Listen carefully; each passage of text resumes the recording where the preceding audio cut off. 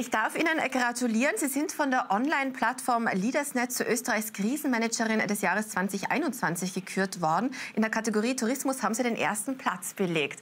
Womit haben Sie gepunktet?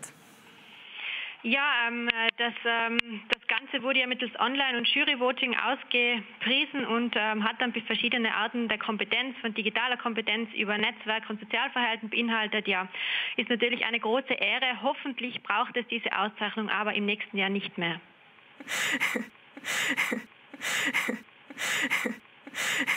Ja, mal schauen, wie es weitergeht. In jedem Fall im Tiroler Tourismus brodelt es. Mario Gerber, der Tourismusobmann der Tiroler Wirtschaftskammer, meinte, appelliert an den Bundeskanzler mit dem grünen Gesundheitsminister Wolfgang Mückstein das Gespräch zu suchen, damit er von dieser Regelung wieder absieht. Können Sie uns die Stimmungslage in Kitzbühel beschreiben?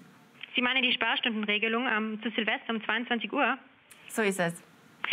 Genau, ähm, natürlich ist es für unsere äh, Betriebe momentan ähm, sehr schwierig. Es gibt äh, sehr viele Änderungen in den Verordnungen, auch in den unterschiedlichen Regelungen und um 22 Uhr zuzusparen zu Silvester ist natürlich schwierig, gerade jetzt zu dieser Zeit. Und ja, wir versuchen jetzt äh, ein Programm auf die Beine zu stellen, wo die Gäste auch äh, zu Hause in ihren Zimmern dann noch ein wenig Programm haben,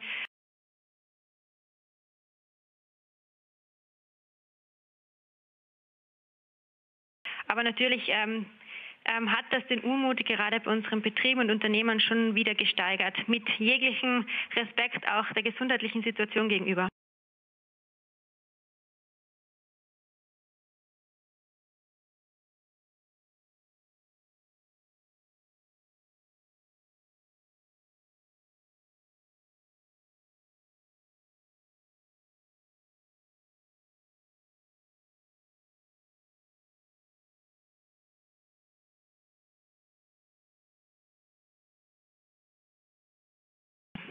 Was meinen Sie genau damit? Wir haben jetzt äh, mit Kitzbühel Tourismus ein sogenanntes Neujahrsradio konzipiert. Das heißt, wir werden bis 1 Uhr ähm, Neujahrsgrüße in ähm, auch die Zimmer der Betriebe und äh, zu unseren Gästen schicken. Das heißt, man kann auch nach 22 Uhr mit jeglichen Sicherheitsvorkehrungen in seinem Zimmer dann trotzdem noch ein Programm und ein sehr abwechslungsreiches Unterhaltungsprogramm bei uns genießen.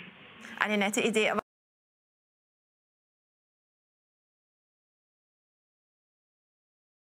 Glauben Sie, dass es Restaurants und Lokale gibt, wo dann im Hinterzimmer weiter gefeiert wird nach 22 Uhr? Ich glaube, das ist uns gelungen und so machen wir wie immer das Beste aus der Situation.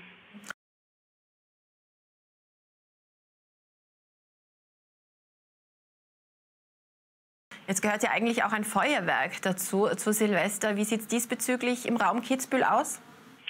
Wir haben im Jänner einen sogenannten Markenbildungsprozess gestartet. Das war ein sehr kollektiver Prozess mit zahlreichen Umfragen, äh, mit über 100 Kitzbühlerinnen und Kitzbühlern, die sich auch zu verschiedensten Themen für die Zukunft Kitzbühels dann auch ähm, ausgesprochen haben. Da war das Neujahrsfeuerwerk ein Thema und es wurde ganz klar auch im Sinne der Nachhaltigkeit entschieden, dass das Feuerwerk in dieser Form nicht mehr stattfinden wird. Das heißt, heuer gibt es eine Übergangsphase und dann im nächsten Jahr werden wir mit einem neuen Konzept aufwarten.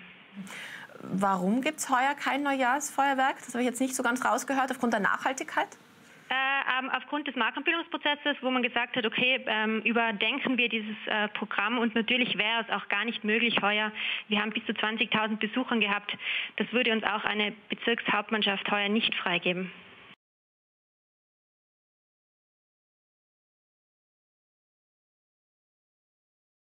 Das klingt aber nach einem recht äh, ruhigen Silvester in Kitzbühel. Ähm, was wir jedenfalls heuer merken, äh, sind unsere britischen Gäste. Die machen ja fast 20 Prozent unserer Gästeanteile im Winter aus. Und natürlich haben wir hier heuer schon den ganzen Winter einige Themen, wo einfach der britische Gast sich auch entscheidet, gar nicht zu uns zu kommen. Also das merken wir auf jeden Fall. Die Deutschen waren sowieso noch nie richtig so beliebt. Es ist ein Horrortag, also wirklich ein, ein toller Tag, so ein Horrortag, also wirklich ein, ein toller Tag, so ein Horrortag, also wirklich ein, ein toller Tag, so ein Horrortag, also wirklich ein, ein toller Tag.